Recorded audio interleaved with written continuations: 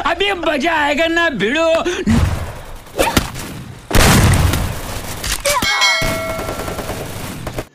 रुको जरा, सबर करो। बोला धक्का बुक्की नहीं करने का।